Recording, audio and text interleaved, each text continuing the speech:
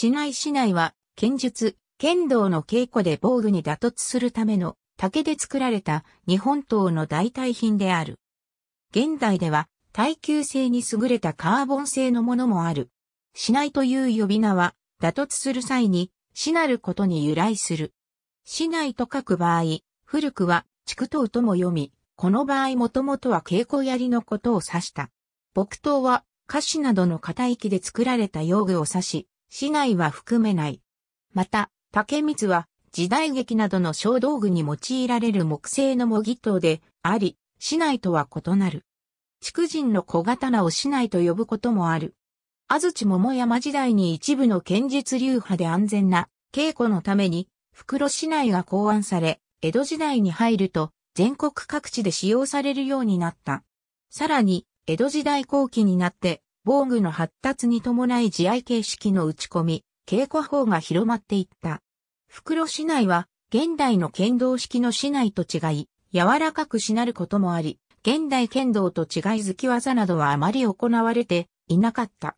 市内や防具は徐々に改良され、いろいろな形式の袋、市内や防具が考案された。一説によると19世紀に入り、大石新影流の大石進が八つ先竹の袋、市内から現代の剣道に近い四つ割り市内を考案したとされる。袋、市内と違い、たわまない四つ割り市内ととを前提にした防具により、現代に近い形の市内と防具が生まれた。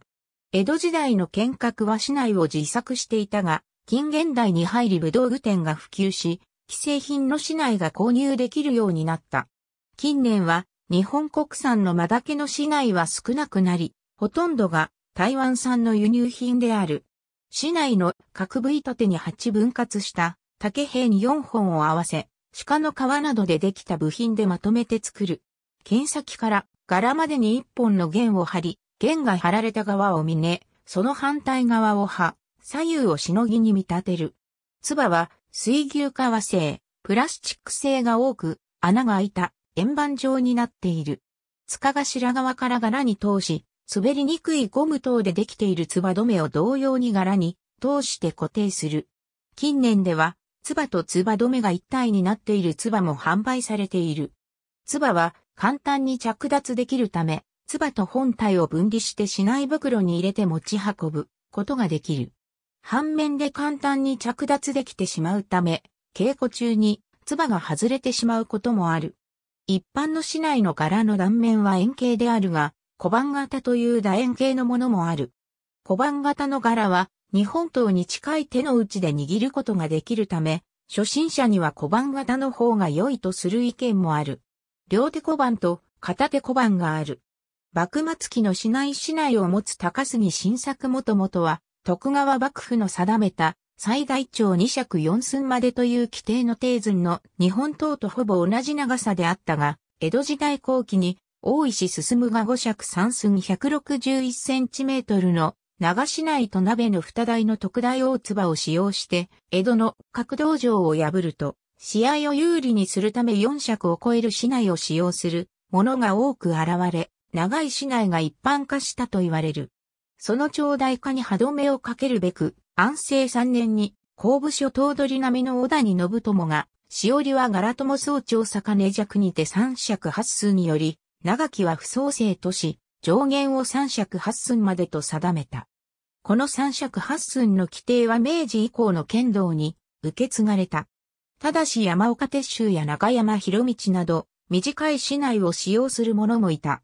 現在の全日本剣道連盟の公式試合用の市内には長さ、重さの規定があり、主に小学校高学年用の36、中学生用37、高校生用38、大学生、一般用39がある。大学生以上の場合、3尺9寸が上限となっているのは従来の3尺8寸を日本人の体格向上に合わせて1寸伸ばしたものである。成人男性用の市内は、低寸の日本刀の約半分の重量であるが、重量の上限はないため 700g を超える市内もあり、日本刀は異合同用など 900g 未満の刀もあるため、一概に比較できない。なお、唾は直径9センチメートル以内と定められている。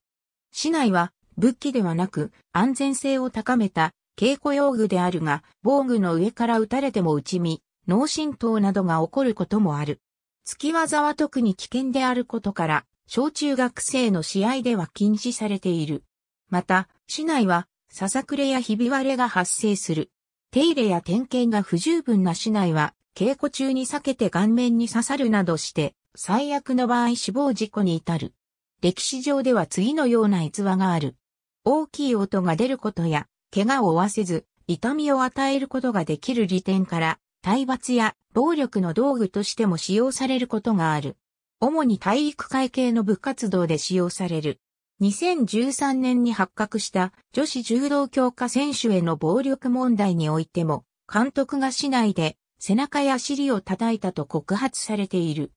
テレビドラマなどの演出で熱血指導の象徴のように市内が登場することもある。2013年の NHK 連続テレビ小説、アマちゃんには、高校教師が市内を持ち歩く場面があり、これについて NHK 広報局は、この教師は生徒に愛情と厳しさを持って接する設定と説明しているが、全日本剣道連盟などでは、市内は神聖なものであるとして適切な利用を訴えている。プロレスでは狂気として用いられる。日本で活躍した外国人レスラーによって WWE と海外のプロレスにも伝わり、剣道スティックという名前で知られている。また弦が外れたがシンガポール刑務所で使用されたケインに似ていることからデスマッチやハードコアマッチなどではシンガポールケインと呼称される。ありがとうございます。